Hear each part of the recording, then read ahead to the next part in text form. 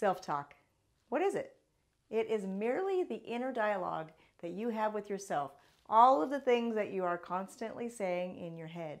We all do it. It's absolutely normal. It can even be helpful. But when it's judgmental, condescending, and in attack mode, well, then it's not only not helpful, but it's downright harmful. Today, I'm going to give you five things that you can do now to start to change that dialogue for the better.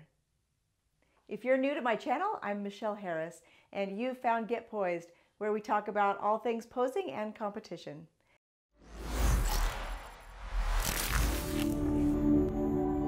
Today, we're talking about how we talk to ourselves. You are starting to realize just how complex and challenging prep really is from body sculpting and obsessing over the scale and body fat measurements to counting every single thing that goes into your mouth to the multiple hours and repetition of posing practice. And that is all very valid and real. But let's talk about your mindset. It plays a huge part of how you process and experience this thing we call competition prep. Most of us pay little attention to that constant conversation that's going on in our heads. So the first step is awareness. And because it's likely become white noise to you, it may start with a feeling. Start to pay attention to that. Well, I'm really annoyed right now because this is the third time I've tried to get this PR and my body is just not cooperating. Okay, what is your mind telling you? Is your inner critic going off saying things like, oh my gosh, I can't believe you still can't do this right? Your dad was right when he said you're weak. Or when you're learning those poses that you've never done before and your eyes well up with tears because you can't figure it out immediately. This is me. What is your mind saying? I must be stupid not to be able to get this faster. Might as well give up now. I'm obviously a failure. Not helpful, right? Maybe you've seen this meme. Your body hears everything your mind says. It's so true. What you repeatedly say is what you believe. So the good news is that this means that you can start to change the narrative. It doesn't happen overnight, and like learning anything new, it takes practice, time, and more practice. But it's absolutely doable. Now, we do both negative and positive self talk, but since we are wanting to improve our life experience, we're going to focus first on how to decrease the negative. Negative self talk for women generally comes down to our body image, comparing ourselves to others, low self esteem, doubt, fear, and habits. Whether you're someone who needs to drop 50 pounds for a competition or you're an Instagram model, we all fight against all of those things. And then we decide it's a great idea to compete. Well, competing does wonders for your self esteem and self empowerment. It also challenges those things to a high degree. So I want you to know this going in and know that you got to be solid with yourself. The mindset part of competing often gets ignored, but girl, it is so, so important. If you want to have a fun, enjoyable, productive prep, you need to spend time on your mindset. Because if you ignore it and you go into this with a pretty low view of yourself, it's very possible that it will get worse. I mean, you're putting yourself out there, intentionally being judged, and you're wide open to feelings of hurt, embarrassment, ashamed, ridiculed, but you're going to also experience joy and exhilaration and empowerment. Now, we can handle and we love those positive emotions, but we also need to have some coping skills in place for the negative because they will happen. So we have styles of how we talk to people, right? The way that you talk to friends at a party is different from how you would talk to your boss, which is different from how you talk to your grandmother. Spend a little quiet time with your journal and think about how you talk to your best friend. Are you tough but gentle with the truth? Are you supportive when they're down and a cheerleader for their success? Now, how do you talk to yourself? When you're faced with those same ups and downs, do you treat yourself the same as you do your bestie?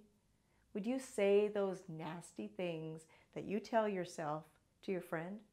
To your grandma? No way! If we treated others like we treat ourselves sometimes, no one would want to be around us. Your prep journal or your personal journal is a great place to start identifying some of the ways that you talk to yourself. Now, the trick is to not beat yourself up for doing it, but becoming the impartial observer. So there's a middle ground from I'm a terrible person to oh, it's awful that I think that way about myself. Instead, get curious. Oh, that's interesting that that's my first response. Hmm. When you do this, some of the emotion comes off of it and you can start to be more aware, which will lead to change. Now, when you get curious from an observer standpoint, you can create space from that strong negative emotion, and taking this space can give you the opportunity to create a new story for yourself. Self worth is about believing in yourself. And as good as it sounds to say, well, I'm just going to fully love myself and believe in me, it's not that easy. It's a process. You can't just make one huge leap to belief. It requires small, intentional, doable changes. So let's talk about a few things that you can do to start. Number one, change your language. Start to notice if you say, I'm sorry, a lot. When you need to interrupt a meeting to talk to someone, or when you run into someone going through a door at the same time, try changing, I'm sorry, to, excuse me, you're not at fault, so there's no reason to be sorry. Likely, it's just a habit that you have. But using the non emotional, excuse me, changes how you perceive yourself. It's a statement that says that you are just as important as the other person. Number two, don't take things personally. Most conversations are not meant to be a personal affront by the other person, but we may have a habit of taking it that way. Well, she must have said that because I really disappointed her, and now she thinks I'm a weak, stupid, bad, insert your favorite insult here person. It's very likely that you are making up this story to fit your current belief pattern about yourself. Number three, be aware of assumptions, also known as mind reading. What other people think about you is none of your business. And we often don't know what they think, but we sure like to think we do, and then we proceed to tear ourselves down for it. Work on becoming most interested in what you think about you. You can only control your thoughts, not theirs. And believe me, everyone is so worried about what others think of them, they're not as focused on you as you think. Number four, identify your triggers. Start to notice what situations and people trigger you. As you go into prep, you will have additional stressors. So if you can identify certain things that really get you going, you may be able to modify or avoid them.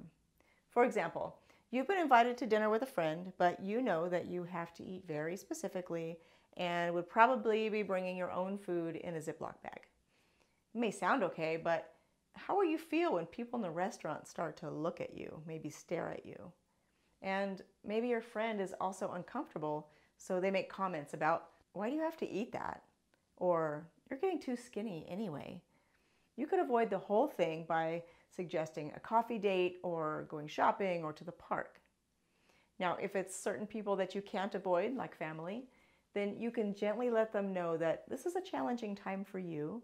And even though they may not understand what you're doing, you would appreciate their support. And number five, don't believe everything you think. You don't have to go with your first thought. Ask some questions. Is it true? Is this serving me? Is it helpful to believe it? That's a good one. And what is a different way that I can tell this story? You are not alone. Everyone experiences negative self talk.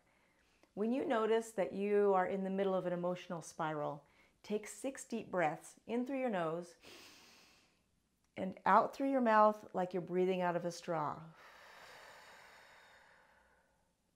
This helps to deactivate the stress response center in your brain.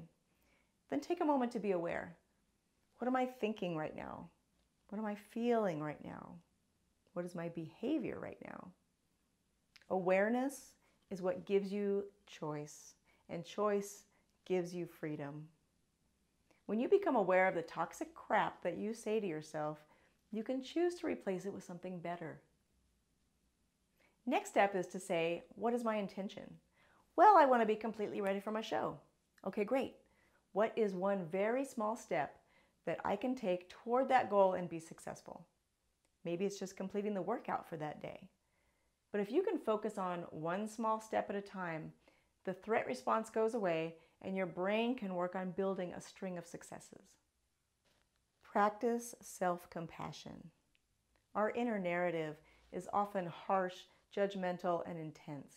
We are often our own worst critic, but in the same breath can be uber compassionate and supportive of our friend who is struggling with the exact same thing, right? We can be the model of empathy and support for this other person, and then we're trashing ourselves. And isn't it ironic? Yourself grace while you're working on this. For everything we learn that's new, there is a sludge phase. It's slow, it's awkward, and it takes time. But it's worth it. You are worth it. Positive affirmations for the competitor will be coming out very soon, so keep an eye out for it. Thank you for spending this time with me today.